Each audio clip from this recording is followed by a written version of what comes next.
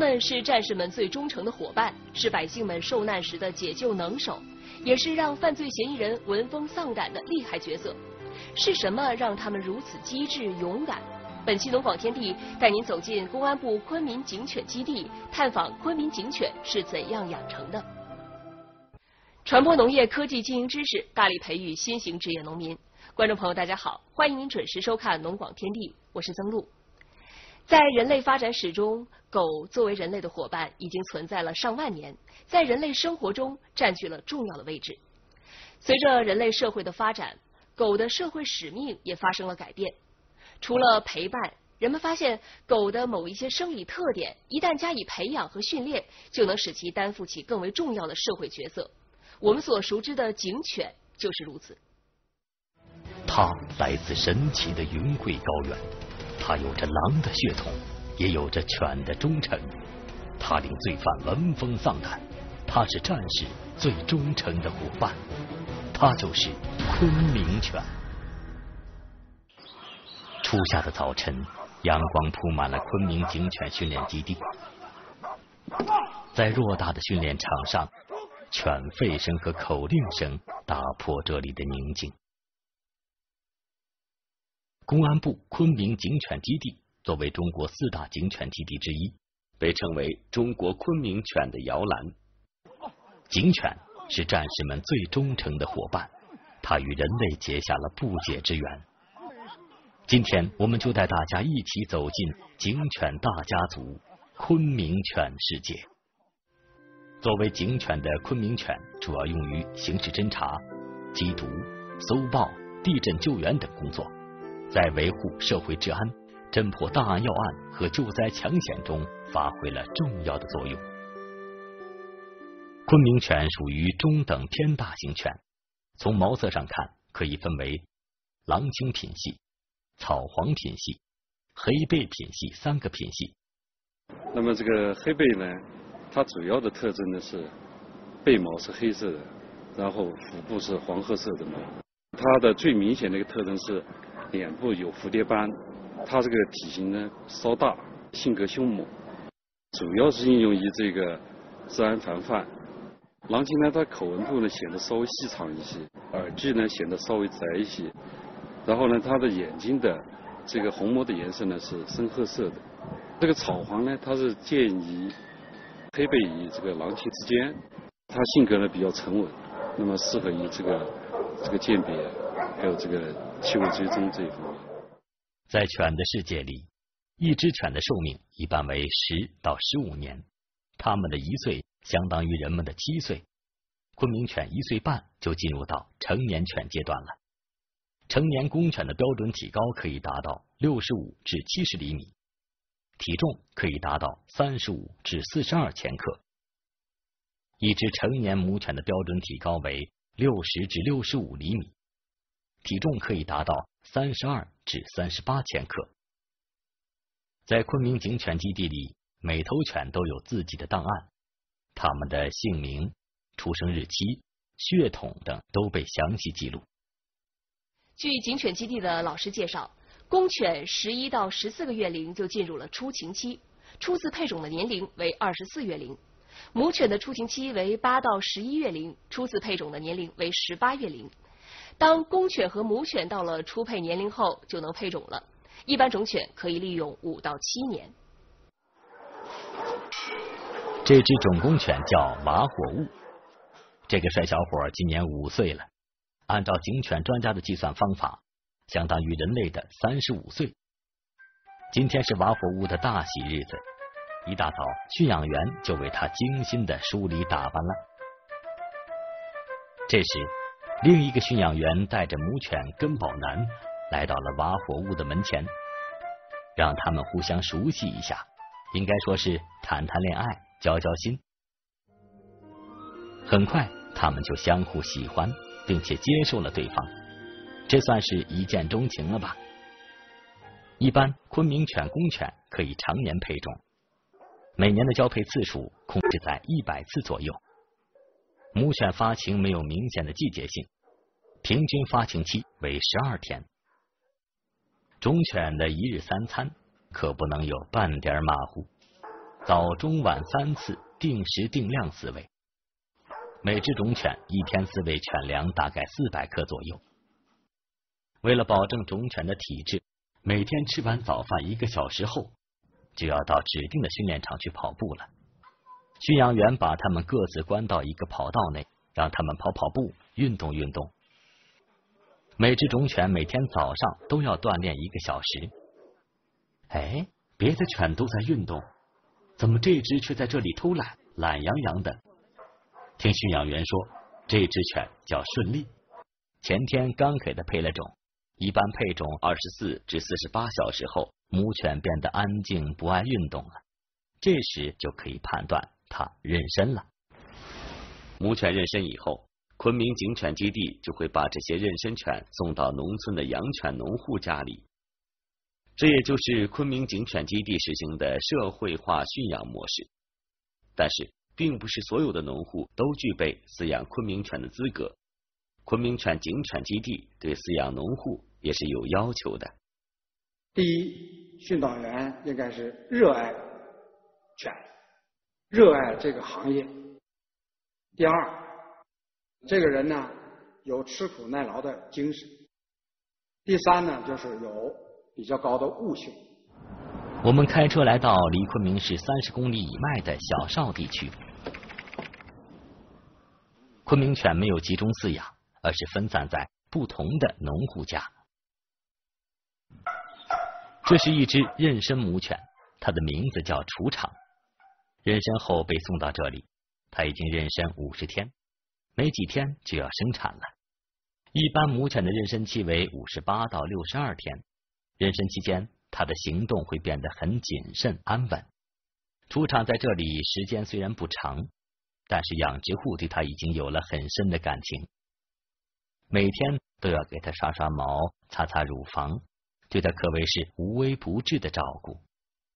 母犬在妊娠期对营养和维生素的需要明显增加，每天饲喂三次，每次饲喂二百克左右的妊娠期犬粮，每天还要饲喂它们四到五粒维生素。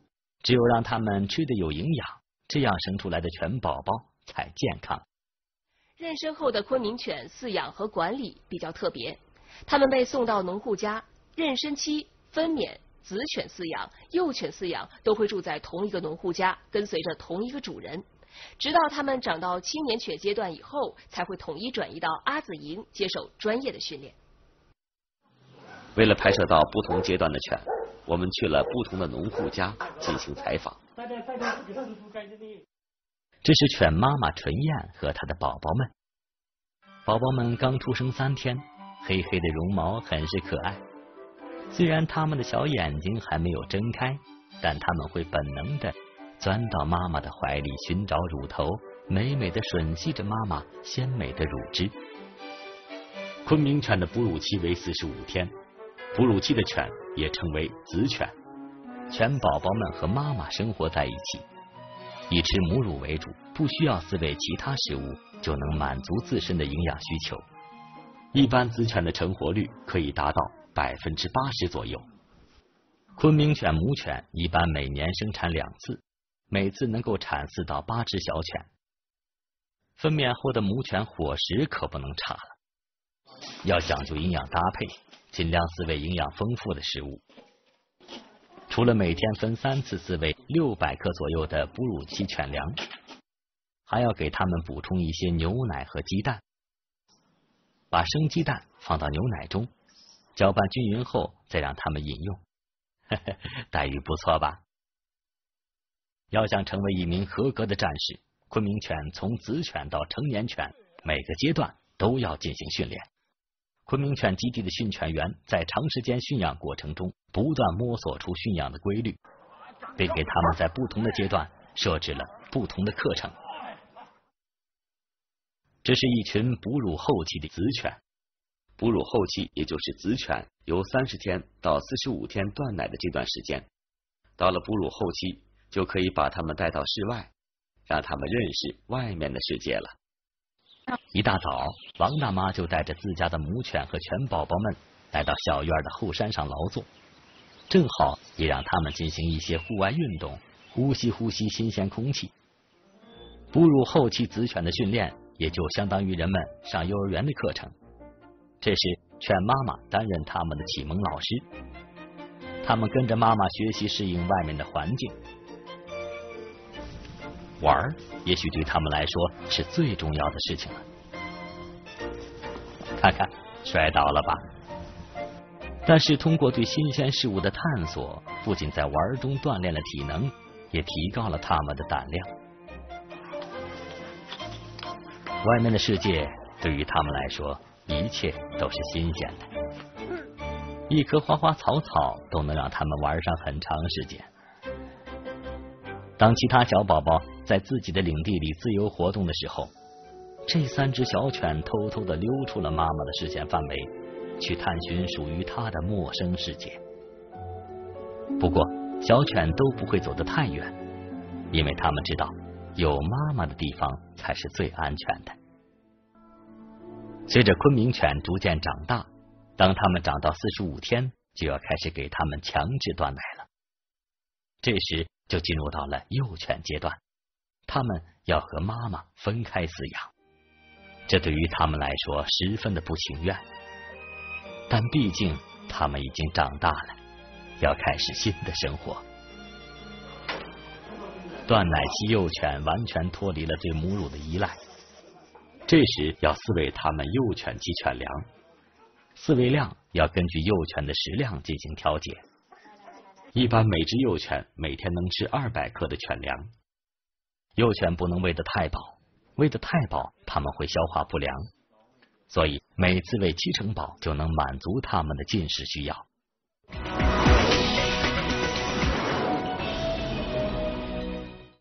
断奶后的幼犬不仅要离开母犬，开始独立生活，也标志着它们要走上紧张有序的训练里程了。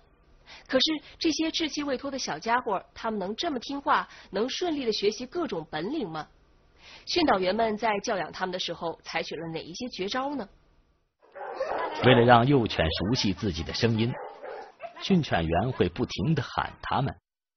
听话的幼犬听到叫声后，会很顺利的走到主人跟前。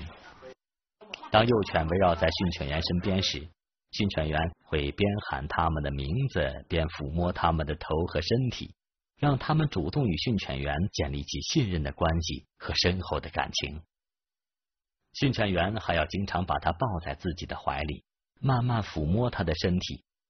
聪明的幼犬很快就明白训犬员很喜欢它，它们也会更悠闲的享受着来自训犬员的关爱，因此与训犬员。增加亲密感。捡取欲望在犬训练中占有极为重要的地位，并且贯穿昆明犬训练的始终。每天，主人都要拿着小球陪幼犬玩上一阵子，培养它们的捡取欲望。因为犬对动的事物比较感兴趣，当它们看到小球时，会争先恐后、奋不顾身的扑上去，拼命的撕咬，都想将自己喜欢的东西。据为己有。这时期的幼犬的体力还比较差，在训练衔取欲望时，时间最好控制在二十分钟比较好。当幼犬经过七十五日龄的驯养，它们的体能和亲和力有了很大的提高。这时训练的主要任务就是锻炼它们的胆量和衔取欲望。训导员拿着挑杆，一边喊一边带着犬在人群中跑来跑去。训导员说：“这是在给他们做胆量训练，让他们多接触陌生人，这样见了陌生人才不会害怕。”这一阶段衔取欲望训练的强度与上一阶段相比有所提高。当他们看到自己喜欢的东西，总会奋不顾身、拼命的争夺。昆明犬的牙齿咬合力非常强，你看，这些犬一旦咬住自己喜欢的东西，说什么也不放口。别人在玩的不亦乐乎的时候，这只小家伙却对主人的袖子产生了极大的兴趣，叼住了就如获至宝，说什么也不松开。这时，训导员便能打骂或者用脚踢开它们，不然会挫伤犬衔取的积极性。犬训练时，时间控制在半个小时左右，以保证犬的兴奋性和体力。犬主人每天早晚分两次喂给它们幼犬期犬粮，每只每天饲喂二百五十克左右。早饭吃完后，还要给它们打扫犬舍，让它们有个舒适的环境。为了减少病菌的滋生，犬主人每隔一个星期用新吉尔灭对犬舍四周墙壁进行消毒，防止疾病的发生。做好消毒工作，犬一般不会有大的疫情发生。如果说幼犬阶段的训练是给警犬技能打基础，那么当幼犬成长为青年犬时，严谨的军事化训练才算是真正开始。通过更专业的训练，让青年犬成长为合格的警犬。让我们一起来看看他们的训练过程。当幼犬饲养到三个月后，就进入到青年犬阶段。他们被送到一个叫阿紫营的地方进行军事化管理。岳瑞，昆明警犬基地的专业训犬员，他负责阿紫营养犬农户的专业培训。每个星期，他都会到阿紫营给这些养犬农户讲解训犬的要领。这里的养犬农户也都是当地的农民，他们与其他地方农户不同的是，接受了岳瑞培训的专业训犬知识，能够更好的完成对这个阶段训犬的重要任务。因为青年犬阶段的昆明犬需要更专业的训练。每天早上，农户都要带着自己负责的犬集合到一起，然后开始一天的训犬任务。环境训练，也就是将犬带到阿紫营的大街上，去接触一些陌生的环境，让他们有更强的适应性。我们在集市上进行的是环境适应性的培养，让犬适应车辆、适应行人、适应各种嘈杂的声音。在这一过程当中，我们让训导员让这些呃养犬户主动的去抚摸犬，给犬一种安慰，让犬能够。尽快的适应各种嘈杂的环境。岳瑞正在给养犬农户讲解关于犬衔取欲望的培养，要拿挑杆引诱犬，调动它的积极性。当昆明犬衔住小球以后，要适当用手拍拍它的背部，给它鼓励。当训练完后，训导员把自己的犬关到犬舍里，给他们饮用适量的水，顺便给他们刷刷毛。让他们感觉舒服，让他休息一会儿，就可以给它喂食了。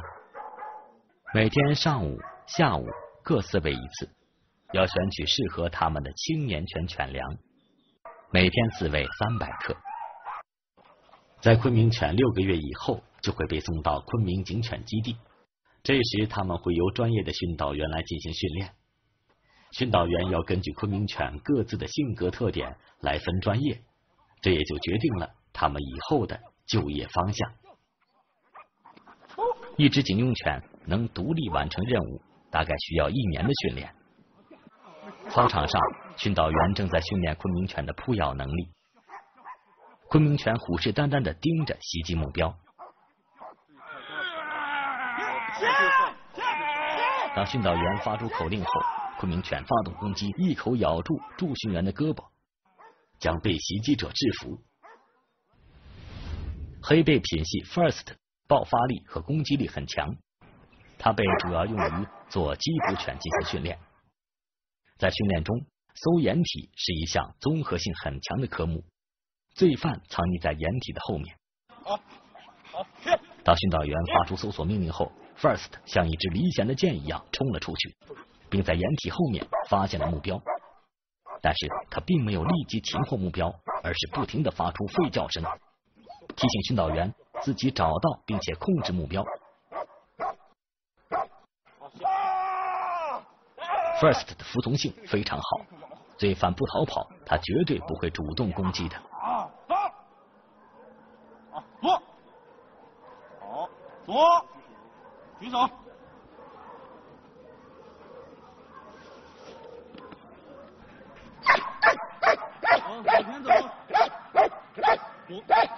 在押解罪犯过程中，如果罪犯出现二次逃逸，这时昆明犬会毫不留情的把他擒获。一岁的母昆明犬明明性情温和，因此被安排做缉毒犬。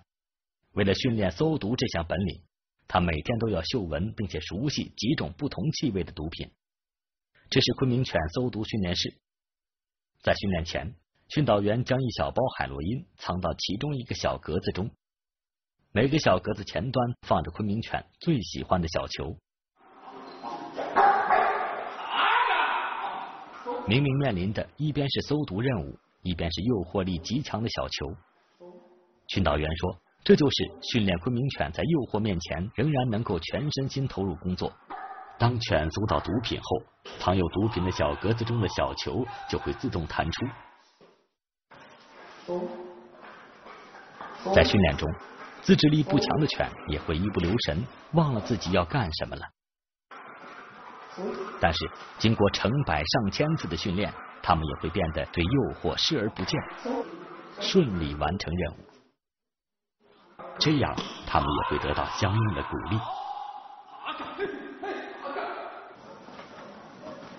为了检验明明的搜毒本领，训导员将一小包海洛因藏在行李内，放在传送带上，这是模拟机场警犬安检的情形。藏有毒品的行李箱就在传送带上。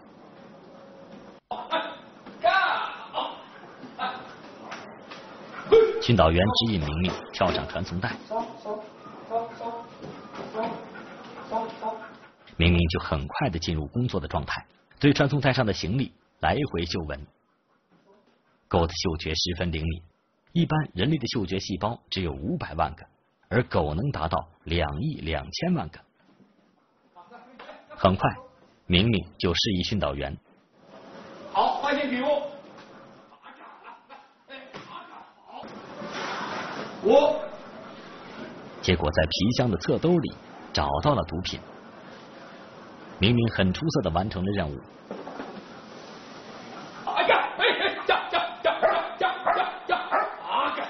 训导员会拿出他最喜欢的小球给他玩耍，作为这次成功完成任务的奖赏。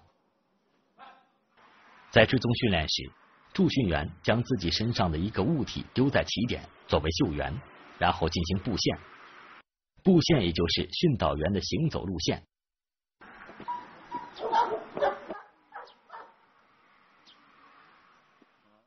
训导员丢下随身携带的打火机作为布线的终点。在追踪过程中，警犬会根据嗅源的气味，沿着训导员的行走留下的气味进行追踪。但是在破案中，罪犯的逃跑路线会很复杂，这就要求昆明犬能适应不同的环境。昆明犬能顺利的完成追踪任务，需要训导员和犬反复的训练。昆明犬学业有成以后，才能顺利的进入海关、公安局或企业正式上岗。他们能在自己的岗位上工作五到七年。所以他们会努力的练就一番本领来。昆明犬基地的老师们每个星期都要带犬到基地外进行实战演习。繁华的街道上，训犬员和昆明犬投入的进行训练。在这里，多了昆明犬这些特殊战士的身影，为社会增加了一份安宁。人来人往的人群与昆明犬构成了这座城市美丽。和谐的篇章。